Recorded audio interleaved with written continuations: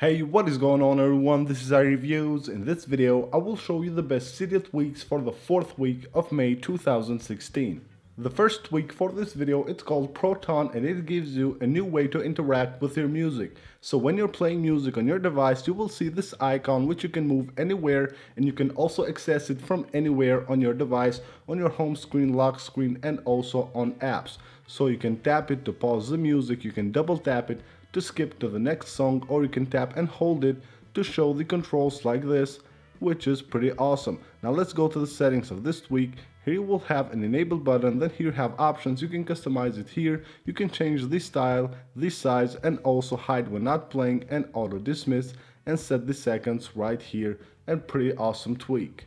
The next tweak for this video allows you to customize the spotlight search so here have all these options that you can enable or disable. So you can see here if I open the spotlight search it won't show the keyboard until I press the search right here and also I have disabled the app launch you can see here I can tap and it doesn't open any of the apps from the spotlight search so here on the settings of this tweak you can enable or disable any of these features and then respring your device for all the changes to take effect.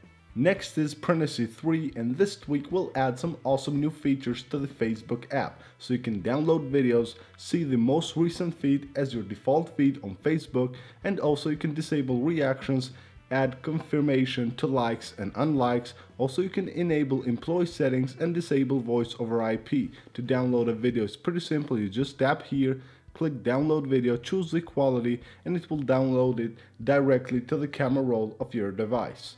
And the last tweak for this video, it's called Dark Gboard and what it does is that it will add a dark skin to Gboard which is a keyboard by Google for iOS. So you can see right here normally Gboard is white but with this tweak you can have it on a black theme which looks pretty awesome. Now under the settings of this tweak all you have here is an enable button and also a respring button here anytime you make changes to this tweak. So that's it for this video guys, I hope you guys enjoyed it. For more videos please make sure you subscribe, also go ahead and follow me on Twitter, you can find a link to my Twitter account in the description of this video.